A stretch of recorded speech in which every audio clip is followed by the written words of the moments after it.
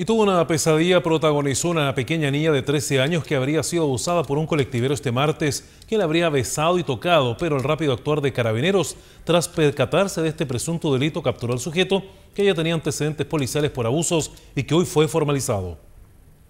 Este martes a las 17 horas, la menor de tan solo 13 años de iniciales VPME tomaba un colectivo en el sector de hospital, rumbo a Zorra Alegre. Fue cuando, según relata su abuela, el colectivero de 59 años la comenzó a tocar y hasta la habría besado. Lamentable hecho que su propia abuela nos relató. El hombre no dejó que se bajara, paró en, paró en,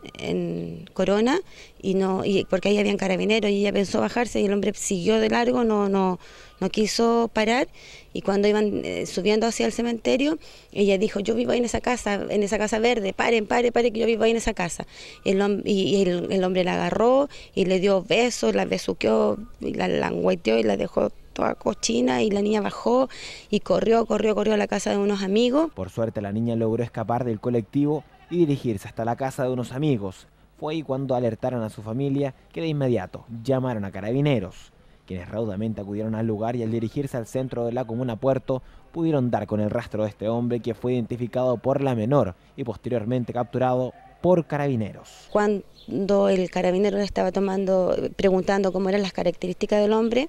el colectivo dobló por, por, por Haber,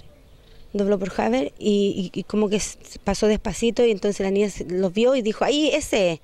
Y, y Carabineros tomó la patente, lo siguieron, eh, yo seguí, lo seguí detrás con otro carabinero en, mi auto y, y en, la vuelta de, de la clínica San Antonio ahí en el estacionamiento que hay, ahí lo, detuvieron. El sujeto de iniciales RT de 59 años admitió que la menor fue su pasajera y de inmediato fue detenido, donde el personal de las carabinas cruzadas pudo determinar que el colectivero ya tenía antecedentes policiales por abuso sexual en la década de los 90, por lo cual la abuela de la menor llama a las niñas y mujeres en general a tomar ciertas precauciones para no ser víctimas de un hecho como este. Hoy día fue una niña, a lo mejor puede ser una mujer adulta, cualquier persona, un niño, lo que sea, lo que sea es grave, eh, es tremendo, es, una, es una historia muy, muy terrible para una familia porque al no llegó a, consumir el, acto sexual, pero abusó porque la tocó, nadie, nadie tiene derecho a tocar a un menor, nadie tiene derecho a besar a un menor, un hombre cochino. El sujeto este miércoles fue formalizado tras este lamentable hecho que sucedió a plena luz del día en el trayecto hospital-cementerio y que lamentablemente le cambió la vida a esta menor de tan solo 13 años.